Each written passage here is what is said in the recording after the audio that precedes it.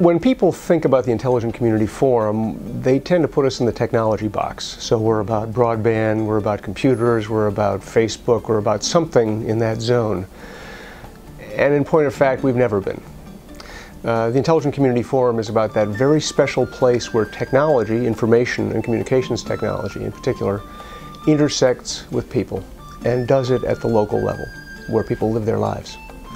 So we're interested in how this amazing world of information and communications technology that has revolutionized everything we do, how it's shaping our lives, and just as importantly, how we in turn can take those tools and use it to shape a better life, a better future for our community, for our city, for our town, for our region.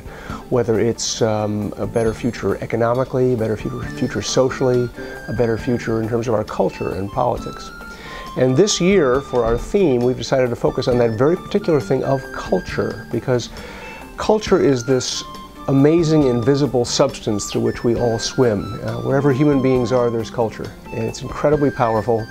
It's a great agent for change. Sometimes it's a great uh, obstacle to change. And so we want to look at this issue specifically um, through uh, our theme, which we're calling Community as Canvas. How can you use your community to, to, make it a better place as an artist would use brushes and oils on a piece of canvas to make something beautiful? So specifically we're looking at three different aspects of culture, because culture is complicated. Culture is about human beings, and whenever human beings are involved, it's both complex and it's not always entirely logical. So the three aspects of culture that we are asking our communities in our award program to tell us about in their places are culture as art and craft works, as those visible signs, what we think of as culture, from performing arts to visual arts to music and so forth, and, and great crafts like country music. Uh, we're asking them to look at culture as the issue of heritage. Every place has a story, and that story shapes the people who are in it. It's the story that tells them who they are and why they are a certain way and where they came from, and in many cases, where it's possible for them to go. And when people in living in cities, in towns and regions connect with that, that heritage, it's powerful for them. Sometimes that heritage, however, is also a, a burden to them. Sometimes it's a barrier to change. And when intelligent communities set out to create transformations for the better, they have to come to grips with that. And the third aspect is culture as attitude, because we can't change our heritage. It is, it's locked in stone, it's the past. But what we can do is deal with the attitudes that that heritage has created. If our community has had a long heritage of uh, success, economic success through hard work, well, we're going to feel pretty good about that.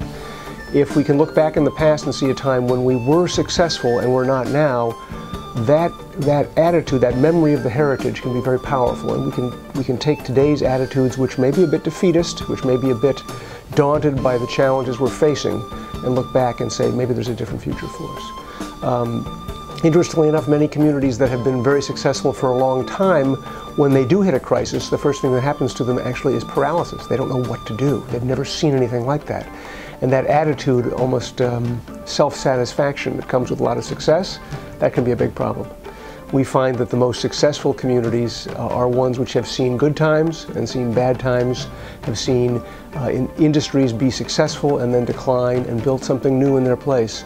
And what that gives them is an attitude of resilience. And that is in some ways one of the most powerful competitive advantages they can have in a time of immense change when the levers of our lives are not entirely clear to us anymore and when we have to find new ways of being economically competitive, of being culturally rich, and of being socially healthy in the 21st century.